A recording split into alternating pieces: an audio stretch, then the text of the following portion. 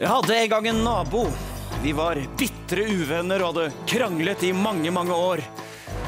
Jeg hater deg, nabo. Jeg hater deg òg. Jeg hater deg ved alt på jord. Jeg kan ligge med kona di. Jeg har gått tur med bikkja di. Hvor har du gått tur med bikkja mi? Langt borti gokk. Borti Gok. Ja, faktisk. Jeg ble så sint at jeg ropte, så alle, også en politimann som tilfeldigvis gikk i nærheten, kunne høre.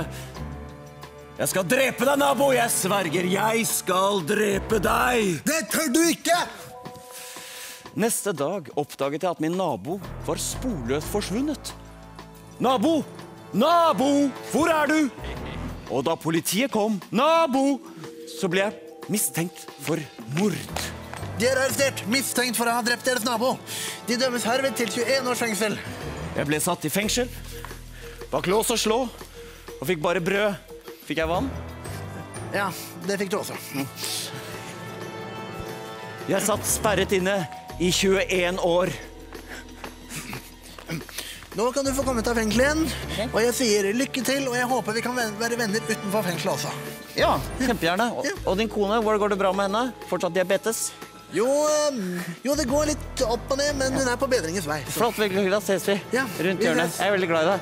Jo, jo, og jeg må innrømme at, eh, at jeg har blitt ganske glad i deg òg. For jeg er jo blitt godt kjent. Veldig kjent. Da. Og da jeg kom ut igjen til mitt gamle nabolag, hvem var den første jeg møtte? Min gamle nabo. Lever du ennå? Ja. Mens du trodde jeg var død, så var jeg på badeland på Børsa.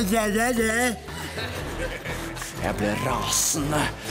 Du lurte alle til å tro at jeg drepte deg, og så har jeg sittet i fengsel pga. mordet. Men nå skal du drepes! Nei. Nei, En gang nei, til! nei, nei, slutt, tok jeg skjegget hans og kvalte han og, og drepte han.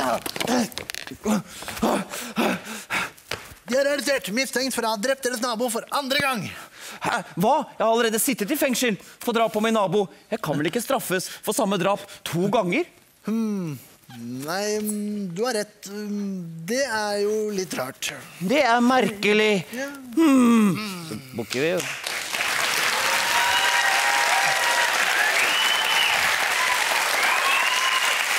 Veldig bra, gutter. Veldig bra. Veldig bra.